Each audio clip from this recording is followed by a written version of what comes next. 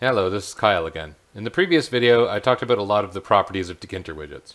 Well, in this whole series, I talked a lot about properties of Tkinter widgets. That's because there are a lot of properties of Tkinter widgets. Two particular kinds of properties and features I didn't talk about too explicitly yet are the accessibility-focused ones and the layout or geometry-focused ones. So we'll talk about those separately now. First, we're going to talk about accessibility.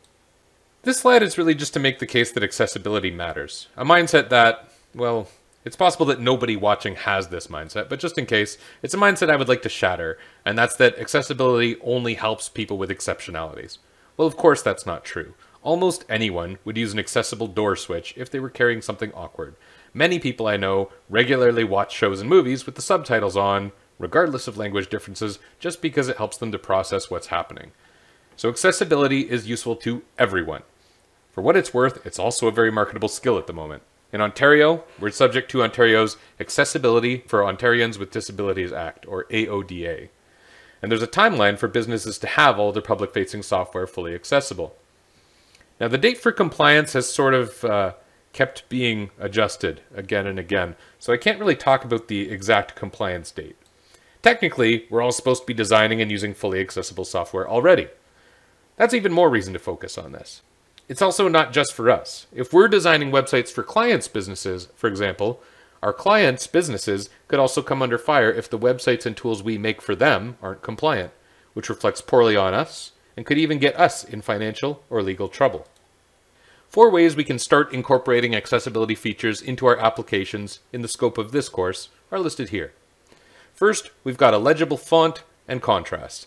I'm going to choose not to focus on this here because we've already talked about how helpful it is to users to use standard fonts and color schemes that are supported by the major operating systems. As long as we don't intentionally use outlandish script fonts and wacky color schemes in our Tkinter applications, we will be fine.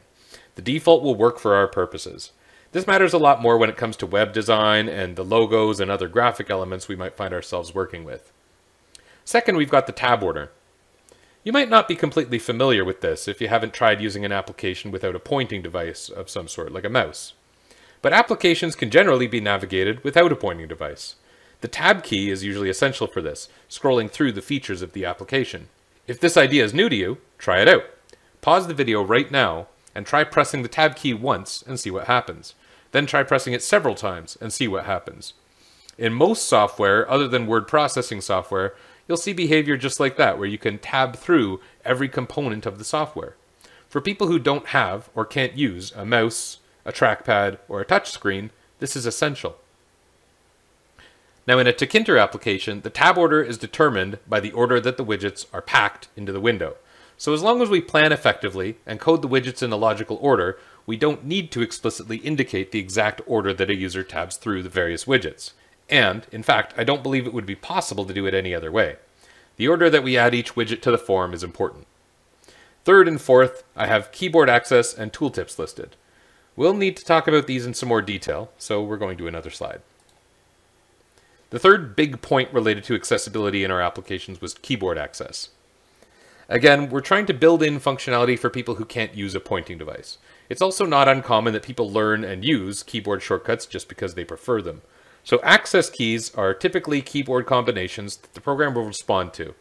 And it's also really normal to give a default behavior to the enter key. If you think of any Windows dialog that we've ever opened, there's usually an obvious outcome you would associate with pressing enter. Like in a save dialog, enter will do the saving. In a properties window, enter is on the OK button. The primary function of a window or a dialog should be associated with the enter key. Now, unfortunately, this part won't make a ton of sense quite yet, not until after we discuss functions, which is sort of the whole next unit topic, which you might not learn about for two weeks. But I think it's worth discussing and considering now. We aren't at the coding part of this yet. This is skipping ahead a little, and we will revisit this at the right time, but I thought you should see this. Basically, the key combinations are named as strings that are also denoted with less than and greater than signs. So less than alt hyphen c greater than is used for alt c. What this key combination would do is run a function named calculate rectangle. To assign a default behavior to the enter key, Python calls this return, which as you may know, used to be a common name for the enter key that you can still see on some keyboards. It's a quaint little carryover from typewriters. So when we bind the action of pressing return, activating the calculate rectangle function to the window, we suddenly have a default behavior for the enter key. Again, don't panic if this looks unusual. We're trying to build some familiarity. And since we're talking about keyboard access, I'm sure a lot of us solutions-focused IT folks want to jump to, how do we do this? Well, as I said, we will revisit this. Tooltips refer to the little assistance bubbles that pop up in an application, usually when you hover a pointing device over a control for a short time. You've almost certainly seen these. They're common on Windows applications and sometimes also used on the web. If you haven't seen these, you can check some out right now because they're used in all of the mainstream web browsers. So just hover over pretty much any button on the browser itself. They're also all over the place on Microsoft Word. Not only can these be generally helpful, but in many environments they're essential for people using certain assistive software like screen readers. Sometimes it's hard for us to believe that there are blind people using mainstream applications, but there are, and it's hard. I've tried using some job access software and concentrating on the audio cues requires a huge amount of mental capital. It is exhausting. The tooltips are often the only information that gets communicated to users who are using job access software, and we need to do what we can to make their experience easier. Unlike with hotkeys, tooltips are something that we can sort of start coding right away. There is a part of the Tkinter package called Tix that adds the balloon functionality, and it's actually relatively easy to use. This Tix thing needs to be explicitly imported as well, so just like with our Tkinter import, we want to do it at the top of our code file, right after the comment header. Other than the import, there are only two new steps. Otherwise, this code is quite a bit like our Tkinter Hello World application that we looked at earlier in this video series. There's one line that creates a balloon object, which I have called tooltip here. And then there's another line that binds the balloon to a button, along with a message.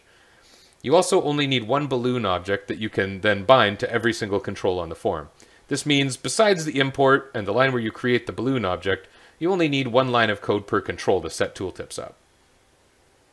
So in this video, we talked about accessibility considerations for graphic user interfaces.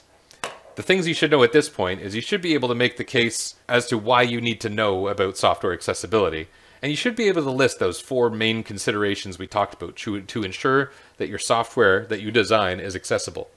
In the next video, we'll talk about the geometry managers for Tkinter, which is how you set up the layout for a Tkinter application.